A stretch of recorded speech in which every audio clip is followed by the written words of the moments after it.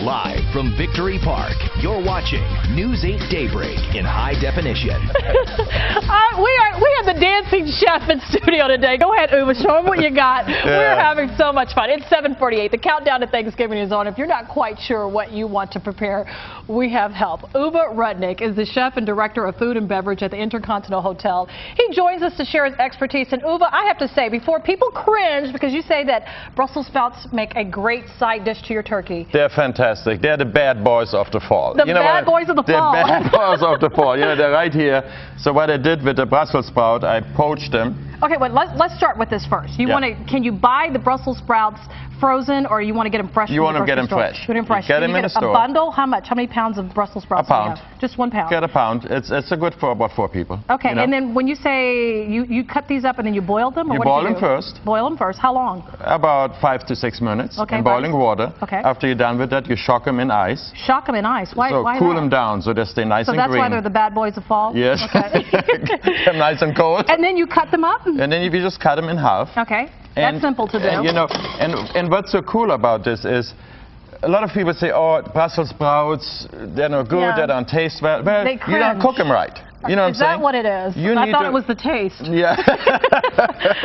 no, I think what we got over here, we got some bacon and some onions. Now, how much bacon did you use? Just one slice of bacon? yeah, or- we about two slices of bacon. Uh-huh. It depends how much you prepare. You know what I mean? And then we put some fresh onions on there Uh-huh. and some butter. And you mince the onions real small, like very small, and we have, you know, just like I have over here. Uh, and you just basically saute that what, with a little dash of salt and pepper? Yes, and Do then you use kosher salt or do you use just regular salt? we use a little salt? kosher salt Kosher or sea salt. You know, I mean, I, I really like sea salt these days. You Now know, here's my nice- thing with the Brussels sprouts, Uwe. Yeah. Is that um, I don't like them mushy. So when you boil them for five minutes, that doesn't make them mushy. They're They still stay al nice. dente. They stay nice and al dente. Perfect. Al dente, yeah. Nice and crisp. You know. So now we put a little heat on this whole mm-hmm. thing, and just let them roll a little bit like this in the butter and in the bacon and in the onions. Wait, show me how are you doing that? You can do that. I can do this.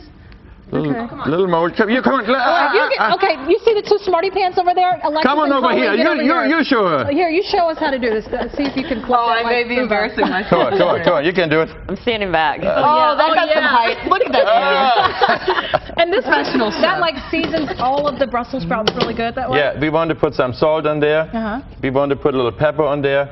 Secret weapon today, nutmeg. Nutmeg. Just give a little smokiness, just a little smokiness, and Ah. and you know something? If you don't want to do it at home, come for the brunch, Thanksgiving brunch to Intercontinental. Oh, And that's you'll do it it's all, us. it's all there. You don't have to do any of this. You don't have to turn things. How much does it cost? Sixty-five dollars Uh-huh. includes tax and gratuity. Oh. Uh, we have live entertainment. Goga is playing for us. Oh, wow. Uh, he is awesome. Uh, we have we taking pictures for free, uh, champagne.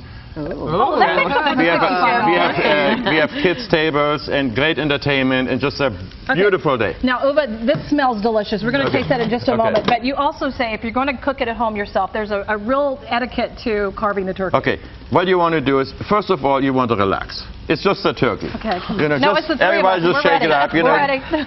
you want to make sure you have a lot of space so you Uh-huh. can move around. Okay. Secondly, you want to make sure you got a sharp knife.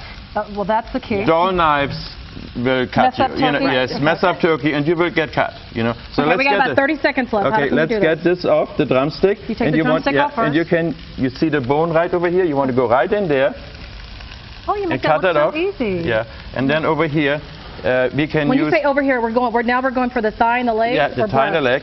Okay. That is the dark meat, the goodness of the. You see that So bone you're right here? basically letting the bone cut itself, Yes. and then you just cut through the meat. And we just want to relax. And Okay. that is where all the dark meat is, right here. Okay, that's You that's know, the and you thigh. can some off. You see that beautiful meat right here? Oh wow. That's absolutely gorgeous, you you make me want to taste it. It smells delicious. I love the dark meat. Thanksgiving It's- a Okay, we got little early. 15 seconds. know. Let's Okay, it as and then as we can. just slice nice and gentle, and just let the knife do the work. And that's the breast part of That's the turkey. That's the white meat. That's the beautiful white meat, nice and tender.